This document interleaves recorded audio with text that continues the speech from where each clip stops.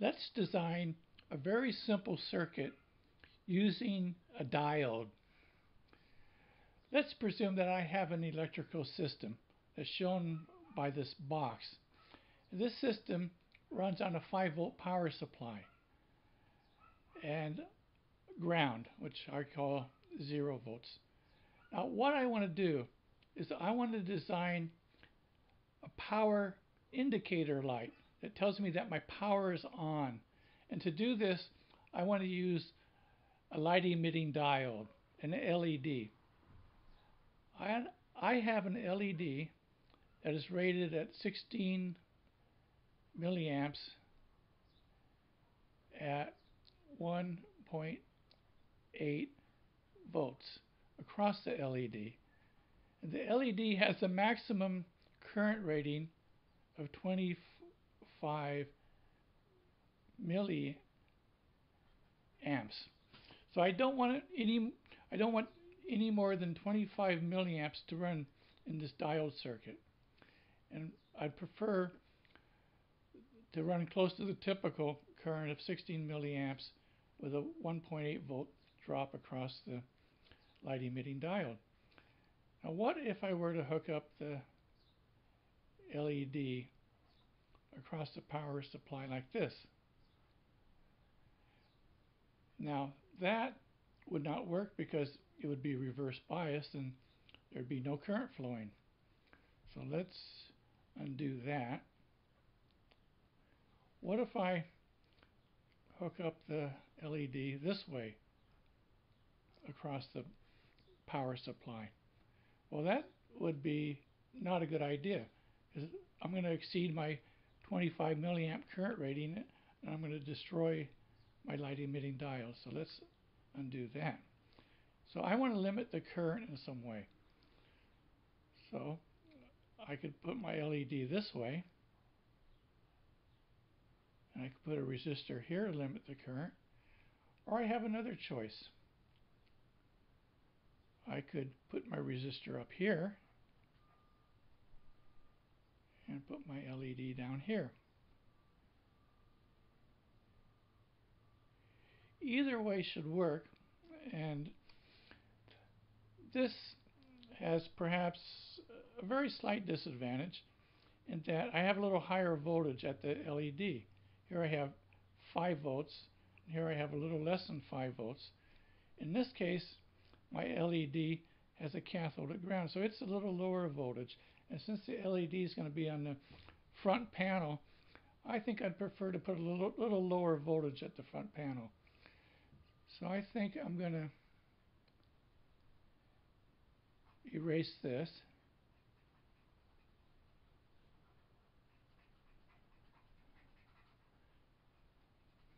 And choose the configuration with the diode connected to the ground. So let's calculate the value of this resistor R so that I have 16 milliamps in this resistor while I have 1.8 volt drop across my LED. So recall that resistance is equal to voltage divided by current. In this circuit, my voltage is equal to the 5 volts minus the 1.8 volts across the light emitting diode divided by my current, which I want to be 16 milliamps. Now when I use volts and milliamp, the result comes out in K. This comes out 0.2 K ohms or 200 ohms. So if I use 200 ohms in this circuit and my power is on, I have 5 volts across this network, I'll have approximately 16 milliamps flowing in the resistor and through my LED. Now if the power is off and this 5 volts goes to 0 volts, then I'll have no current flowing in the LED and the LED will be off. So it seems like this should work fine as a power indicator. So let's evaluate this resistor. Now, in a way, I've lucked out. For 5% resistor tolerances, a standard value at 5% is 200 ohms. But perhaps I want to go with a 10% resistor, a little looser tolerance, and save perhaps a little money. But my standard values for a 10% resistor is 180 ohms and 220 ohms. So I don't get the 200 ohm resistor, but maybe it'll still work. So let's consider using 180 ohms. Let's consider, am I going to exceed my 25 milliamps at any time in this LED? So let's say that I have this 180 ohm resistor, my light emitting diode, connected to ground. And let's say that the power supply can be 10% high. So instead of being 5 volts, it's at 5.5 volts. That'll give me the most current in this resistor. Now if my resistor is at a low value, instead of 180 ohms, if it's 10% down, say at 162 ohms, and if I have the minimum possible drop across my LED, which I'm going to say is a little less than the 1.8 volts. I'm going to be a little safe, say that could be 1.5 volts. So under these conditions, that's the worst case for this maximum current. So let's see what the maximum current could be. So I maximum is equal to the voltage across the resistor, 5.5 minus 1.5 divided by 0.162 k ohms, and that is equal to 24.5 milliamps.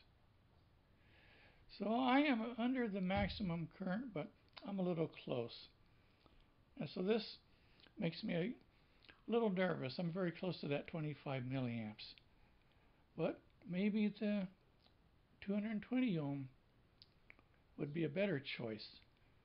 So let's what let's see what my min current might be. This this will be less current in the LED, but it still might be okay. But let's see what the min current would be. So if I use 220 ohms instead, I calculate my I min, and this would be when my power supply is at the lowest, which I'll say 4.5 volts, say it's a 10% power supply, and minus, now the maximum voltage across my LED is spec at 1.8, but I'm going to be a little safe. I'm going to make it a little higher at 2 volts.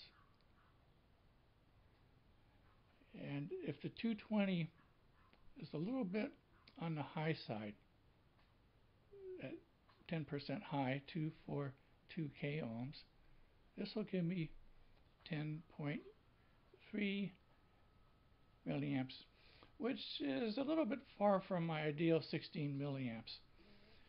So I think that I'm going to prefer to use the 200 ohm 5% resistor.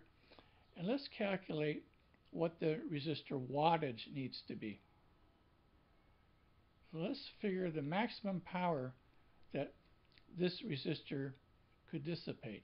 Again, that would be when my power supply is at the high side, connected to a resistor that is at the low side. So we'll say it could be down at 190 ohms. And let's say that my LED, let's say that that is at a minimum 1.5 volts to be safe. Let's calculate the I max will equal to, this would be 4 volts across my resistor divided by 0.19k, which is equal to 21 milliamps. So I'm under the 25 milliamps, so that should be fairly safe. But let's calculate what my maximum power would be. Now recall that power is current times voltage. And in this case, the current is 21 milliamps, and my voltage is 4 volts, and that is equal to 84 milliwatts. So if I use a quarter watt resistor, which should be 250 milliwatts, that should be quite safe. So I'm going to choose to use a quarter watt resistor 5% and 200 ohms.